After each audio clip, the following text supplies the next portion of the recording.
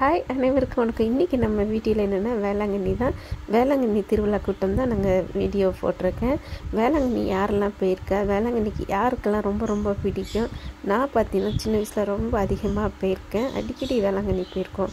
நீங்கள் எல்லோரும் போயிருக்கீங்களா? வேளாங்கண்ணிக்கு வந்து நீங்களாம் எத்தனை தடவை போயிருப்பீங்க? வேளாங்கண்ணியை பொறுத்த வரைக்கும் ஹிந்துஸ் முஸ்லீம் கிறிஸ்டின்ஸ் எல்லாருமே வருவாங்க. எல்லா மதத்தினரும் வர ஒரே இடம் பார்த்தா வேளாங்கண்ணி.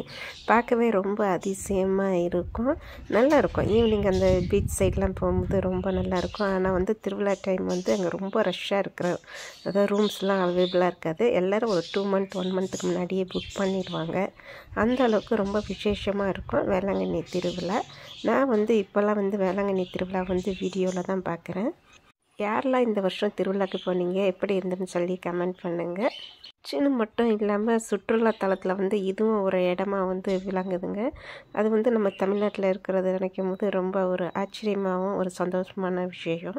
எல்லோரும் திருவிழாவே ஹாப்பியாக என்ஜாய் பண்ணுங்கன்னு சொல்லி இந்த வீடியோ முடிக்கிறேன்.